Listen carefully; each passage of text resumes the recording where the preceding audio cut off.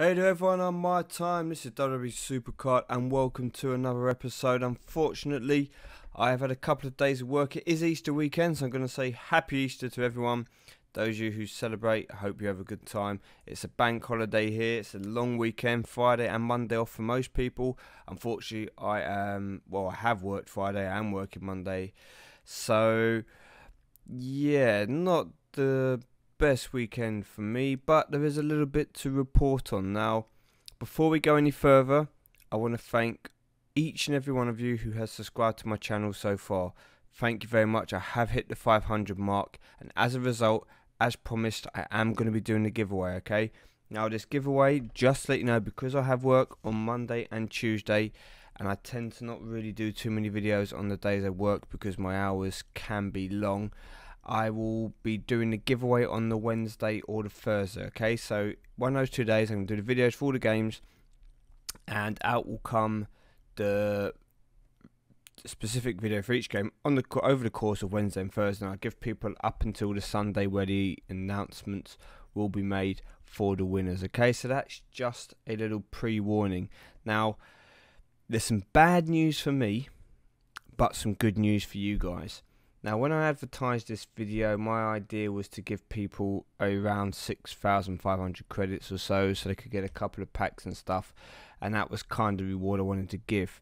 However, with iTunes and that, and with Google Play, they because they do their gift cards in predetermined amounts.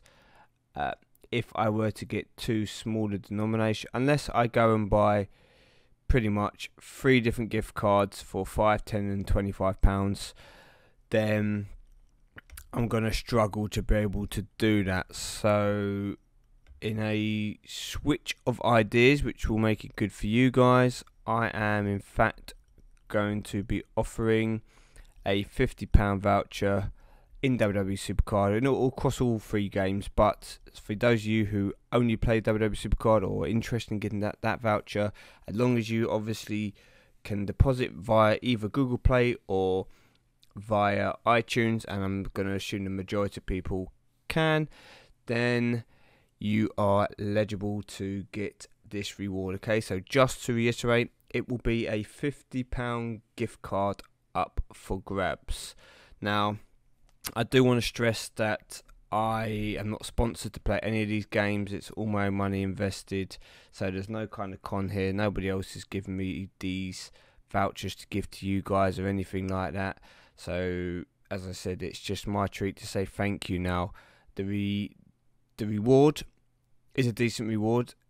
I mean, it's going to be fifty pounds worth. Obviously, depending on where you're from. So, if you're in the states, what I'll do is I will send you the code uh, you don't have to be a UK person. Obviously, I'm going to have to purchase the vouchers over here, but I will send the code. I'll get in contact with you. Uh, more details will come on Sunday about that, and then you can deposit it onto your account and spend the credits how you like. But I would like people, if you do spend them on packs, to please let me know so I can obviously then inform other people how you got on. And then once we get to the next milestone, um, I can think about what else to do as a reward. But just so you know, you have to be a subscriber, okay? So for those of you maybe who just watch the videos now and again, I will be checking. So if you're not a subscriber, there will be T's and C's as well. Mainly that you could only enter once and it'll be your first entry that is counted, okay? So if you put an entry then you want to replace later, I'm going to do comments from um, oldest first. Once I've seen you down, all the people who get the correct answer, I make a note of. I will then check uh, once I will do the draw. It'll be random number number generator draw live on cam on the Sunday to pick the winner. And then I'll check that person is definitely subscribed. If the person isn't a subscriber, then we will re-go again and go to the next person. Okay, so you do need to be a subscriber to win. Apart from that, though, that's that's the only the only T's and C's. Anyway, with that said, we'll go back to what's going on here. I did get John Cena once again. I waited right towards the end, done him with about 35 minutes to go in the event. Now these flash events, in my opinion, these are better than regular events. I hope that they bring in flash events over the standard events because they can do more flash events and they could replace the bog standard long events. There is no reason for the events to go over four days. What they should do is bring a completely new game mode to play, introduce flash events, and then team events as well. So, for example, the team event could last four days, and then they run two flash events during the week. Maybe one at the beginning of the week, one middle towards the end of the week. So maybe a flash event Monday to Tuesday, a flash event say Friday, Saturday, or something like that. Thursday, you know, Saturday, Sunday, you know, Tuesday, Wednesday, something like that. And then people get their cards that way, and as a result, you're not sat there for your whole weekend tapping away at your phone. I think that would be the be the best thing to do, but they're unlikely to do that because they probably won't make as money out of these flash events um, in the long term as they would do having people consistently playing the regular four day events and then also having flash events or team events in there. Now with that John Cena, haven't proed him up yet. This one's this card here that I've just got has had no games, nothing. I've just entered the King of the Ring to see what happens because I'm going to try and get myself towards the final, see if I can get into the actual um, final itself and see if WrestleMania tier drops because I think we are just around the corner from that. You see, there's another flash event coming up this Easter Sunday, starts in just under 12 hours' time. It's going to be Triple H versus Roman Reigns. Click on rewards, compare the two cards. You've got up versus down arrow. Roman Reigns says he's mate Dean Ambrose, while Triple H says Brock Lesnar. Now, Brock Lesnar is a far better survivor card than Dean Ambrose, yet Roman Reigns is probably going to be the more preferred card as he has over 800 in every single stat, which is going to make him easily the best all round card in the game. Now, as you can see here in these ranks, you can get two of the cards. So, two Triple H or two Roman Reigns for the top one to five. Uh, there's still two rewards there for top 75, two rewards for the top 200, and two rewards for the top 550. So getting the top 550 in a flash, basically PCC, which would be a 40-hour event, you get a pro survivor card, survivor event card. Now for myself, I'm not going to be going for this because the number of points you're going to need to get this card is going to be ridiculous. Also, a single um, event card is going to be no use for me. So what I'm probably going to do, probably going to do, I'm probably going to go for Triple H, and I'm going to see if I can finish in this rank or this rank here. So basically the top 3,550. Play for around there. Try and get a pro Brock Lesnar because I don't have a Brock yet. He is up, or he basically up there as the joint kind of like best card in the tier, and I would still find some use for him in my deck at the moment. So I'm going to probably go for that. And the reason I'm going to do that, I'll just go down for the sub rewards for you. He's also got Kofi Kingston and Sheamus, and then Stardust and The Miz. So uh, I I think for all the hardcore grinders, Roman Reigns is going to be the the carrot. But for the casual players, Brock Lesnar and probably, probably, I don't really know of Kofi and Sheamus. I think Sheamus has been logging me more before, so maybe Sheamus will be uh, more attractive to some people. But definitely the Survivor card Brock Lesnar is going to be better than the Dean Ambrose. But for myself, I'm going to come back to the same idea that exhibition. I've played over 16,000 games now. At 17,000 uh, 500, you get a random diva.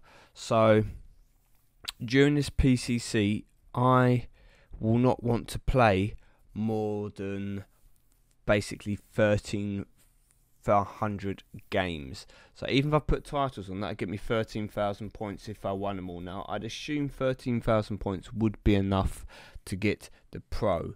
Um, because it's only a two day event, I'd guess that would probably should get you in the top 550. However, I do have work on Monday, and I this game starts late on Sunday, so I'm not going to commit my whole Sunday and then Monday before work and then go to work tired and have to work Tuesday as well just to get this card. So what I'll probably do is I'll probably play it. I will use the event to train up some cards and play, play, play, get myself close to 1750. But I think that, or 17,500 even, I think that the new tier is just around the corner, okay? Now, believe it or not, that new tier has to be just around the corner. And the reason why I say that is because they have now given us two event pros in a week. Okay, they're giving out, and we can scroll down to show this. They've been giving out divas for fun in the rewards, and the, in the other other um, previous road to glory with Daniel Bryan, you had like Brie Bella, uh, and then you had a I think it was a was Epic Nikki Bella in that. We've now got a Survivor Nikki Bella has come out as a reward. They're giving you top tier divas. They're giving us event multiple event pros in a week. Okay, so we've got a John Cena pro, and we'll have a Triple H or a Roman Reigns basically within the course of a week. Come the end of Monday, uh, Monday to Monday kind of thing. There'll be two event pros out there that people could have got.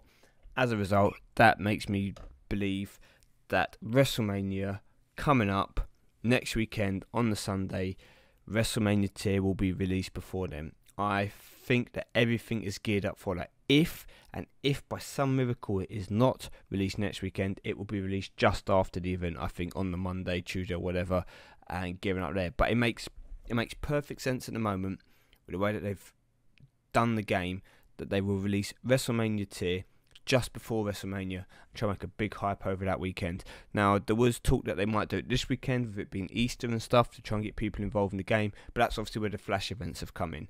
Uh, with people having time off now, time off school, time off work, everything. You know, bank holiday in the UK, for example, is a good time. Obviously, other places you won't necessarily have the same bank holidays, but it is still Easter, and leading up to that WrestleMania finale, they're going to want to drop that, I reckon, straight away before to try and get people with all the hype, and then they'll do a WrestleMania event for the WrestleMania weekend and tie it in all together. That's what I reckon is going to happen.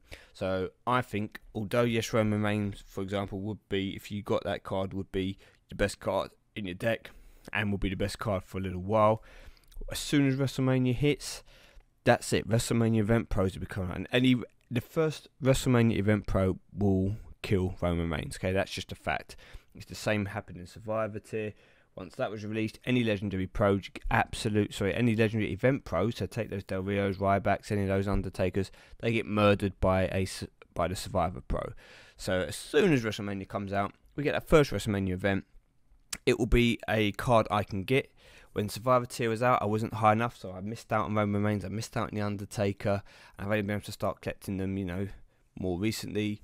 Now I can go, yes, Roman, bang, or not Roman, so yes, whoever it's going to be. For example, say it's, I don't know, Undertaker and Shane, or Brock and Dean Ambrose, or whoever they go for.